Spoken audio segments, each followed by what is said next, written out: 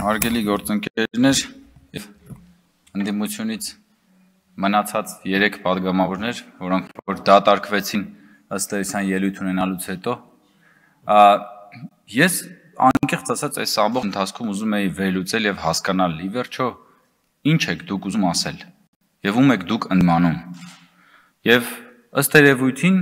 ամենատրամաբանական բացատրությունն է, որ դուք ոչ թե ընդդիմանում եք մեզ, դուք ընդդիմանում եք կյանքին։ եք Դուք կյանքին ընդդիմանում եք։ Ինչու՞։ Որովհետև այդ դիեզերական մասշտաբի սնանկությունը, որը հնչեց ձեր գործընկերներից մեկի կողմից, ասում է Ադրբեջանում զորավարժություններ են անում, իսկ Հայաստանում Եվրատեսիլ եւ տոնածար։ Սրանից ավելի դիեզերական մասշտաբի սնանկություն այս դալիճում երևի դեռ չէր հնչել։ Ես համոզված եմ, որ դուք կգերազանցեք ինքներդ ձեզ եւ շուտով նորից մի ավելի մեծ մասշտաբային սնանկություն կհնչի այստեղ։ Բայց ինչա ստացվում։ Հայաստանի ներկայացուցիչը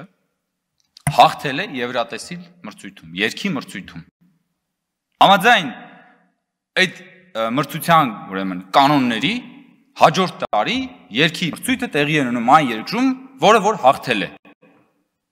Հիմա Հայաստանի Հանրապետության ազգային ժողովում չափահաս տղամարդը մոտենում է այս ամբիոնին եւ համեմատում է այդ երկի մրցույթը Ադրբեջանի Ադրբեջանում անցկացվող ուրեմն զորավարժությունների հետ եւ գալիս է նորից մի տիեզերական եզրահանգման,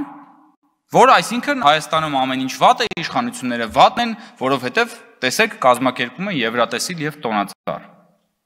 Սրանից ավելի մեծ մասշտաբի քաղաքական սակավամտություն դժվար է ուղակի նկարագրել, որովհետև հիմա դուք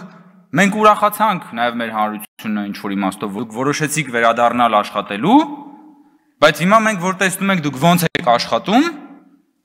մենք սկսում ենք մտածել այդ ուրախության եւ մնացածի վերաբերյալ։ Եվ եւ եւ անկեղծ ասած, ժողովուրդ, ասենք այդ ամբովանդակ շատախոսությունները, որ անդադ ասում եք, բանը Ռամիլ Սաֆարովի օրինակն եք բերում։ Ձեր քաղաքական ուժը այն ուժն է, որը իր նախընտրական քարոզարշավի ժամանակ պատերազմում բայրակթարով հայ զինվորներին խոցելու կադրերը դրել է իր նախընտրական քարոզարշավի տեսա հոլովակում եւ դա պատտեցրել է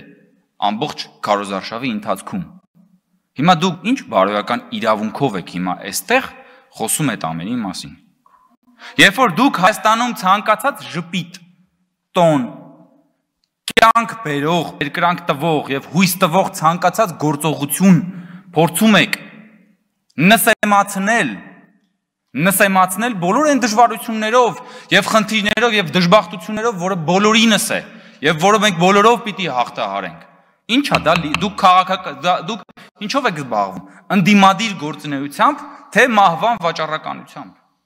Դուք դուք դժբախտության մունետիկն եք, Դուք դժբախտության մունետիկն եք, Տիկին Գալստյան։ Ես ձեզ անձամբ չեմ ասում։ Դուք դժբախտության մունետիկն եք, թե Հայաստանի Հանրապետության ազգային ժողովի падգամավոր եք, որովհետև ամեն դեպքում պիտի հարգելի գործընկերներ, այնտեղ մեկը խոսում էր գետինը մտնելուց, բայց այդ գետինը փորում ենք քաղաքական միտք չենք ընդհանրապես գտնում։ Պիտի կարողանալ ի վերջո հաղթահարել սեփական քաղաքական տկարամտությունը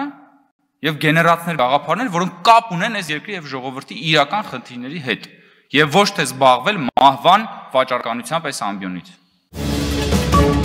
Thank you